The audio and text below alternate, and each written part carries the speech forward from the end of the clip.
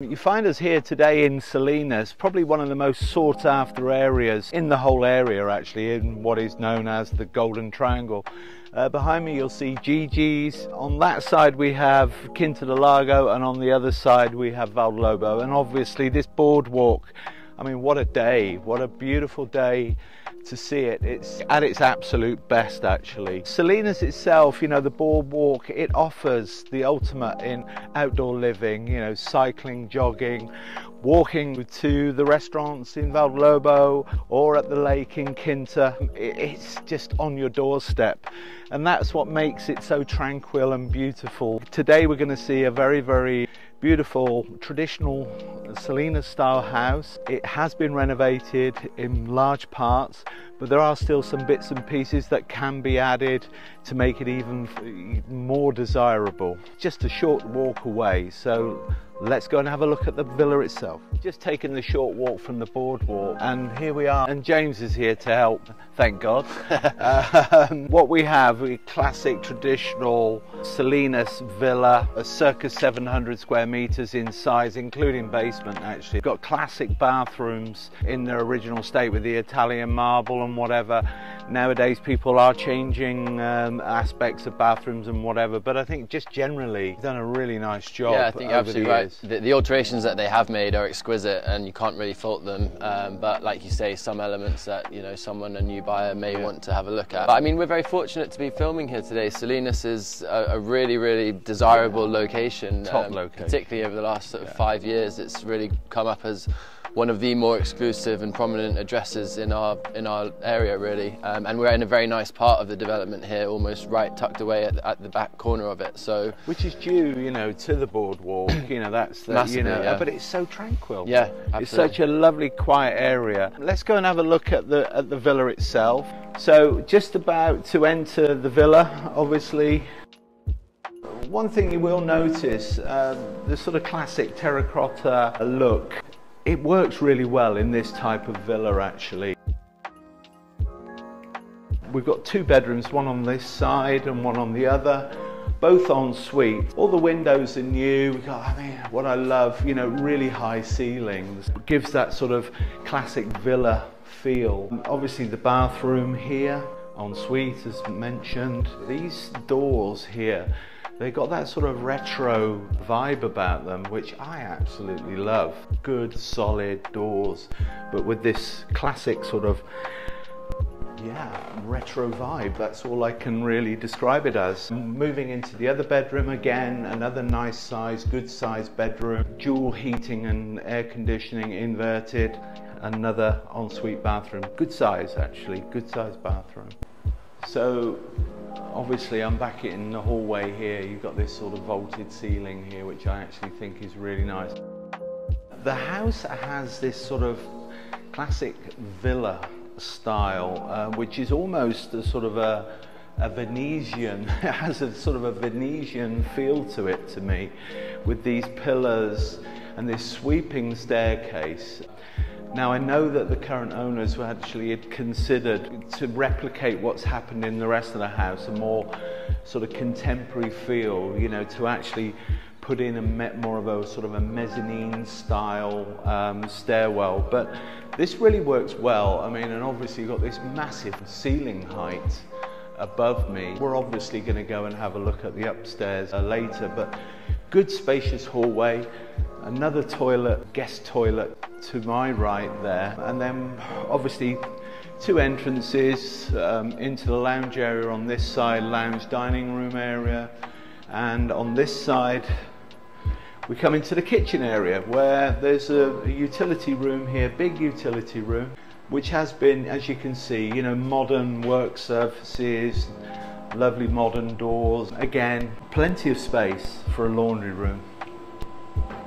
Don't know if you've noticed these arches, Emily, um, walking in to this very modern kitchen. The outside area actually is what I love about this property. Um, it's an amazing entertainment area, but we'll come to that in a minute. I'm sure if Cindy was here, she'd be loving the kitchen, you know, good quality granite, excellent kitchen, natural wood, and the combination with the white contemporary look really works well. This is the dining area as discussed. And we have these beautiful sort of, which are now very contemporary, very innovative, these steel doors uh, with the glass. It really works well, which, you know, obviously you can open to make it even more spacious but you know you can have it just as a dining area here. Beautiful. I mean actually the furnishing in this house is absolutely lovely. And then we walk into what is effectively the lounge area living room area. Again good ceiling height good quality windows the classic flooring. I think if we pan back towards the dining room and the kitchen there people will get a perspective of how how big this house is. And what sort of quality living it provides. Coming down into here, we have this is more of a kiddies room in the way it's set up currently, but a sunken lounge area works really well. The cornices in here, you know, are, are absolutely lovely. There is an open fire, they choose not to use it, but it is set up for if somebody wants a wood burner or an open fire, that is easily um, possible in this property. James is actually loitering with intent. Great house, huh? Great house, yeah. I mean, we've only just sort of scratched the surface, but. Yeah.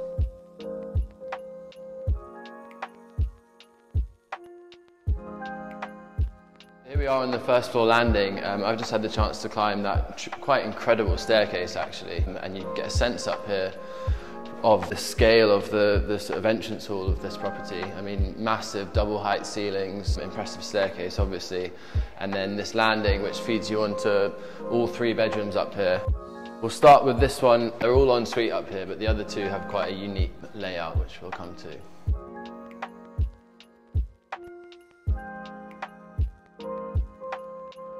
So I'm actually going to take you down to the bedroom at the end of the landing first, which is the second bedroom up here on this level. Again, nice things to note, really high ceilings, even up here on the first floor. Tall glass windows allowing lots of light to flood in. I can actually spy a little sea glimpse over there in the corner. And we're now going to retrace our steps back to the entrance of the master. I mentioned it's a slightly interesting configuration here. Basically the bathroom is shared, but we'll come to that. Master suite, first two things to note are this enormous of closet just on the right hand side as you enter. And then again, ceilings, natural light, sort of ornate detailing in the middle here and a fantastic balcony.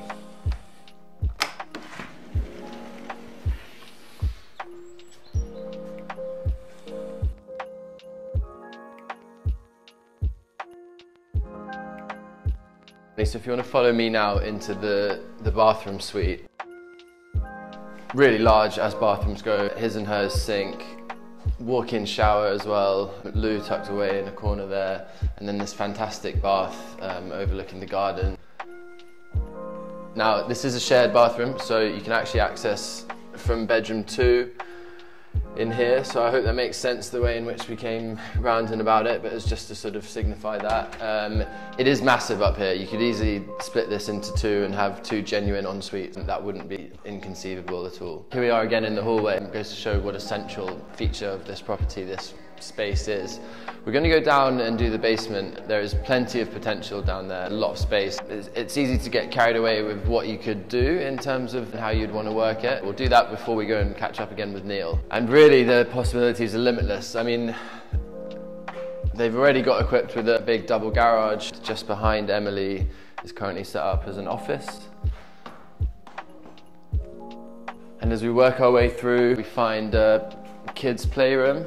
Current owners have three small ones, so I think they use this space quite a lot and this, this layout works for them. This could be anything really, it could be a cinema room, games room. And then through this door is where you really have to let your imagination um, take you really. There's an enormous cavity. I would say that this is probably most of the foundations of the property, so a few hundred square meters down here. But high ceilings, which is always good in basements because you don't always tend to have that. Another space down here. This really wraps around so and is crying out for some development. I mean, it goes all the way down to the end here. Before we go back round to meet Neil at the pool area, I know he's keen to show you the outdoor barbecue. I'm just here on this side of the property, which has the off-street parking by an electric gate, and then the access down to the garage and basement area that we've already looked at.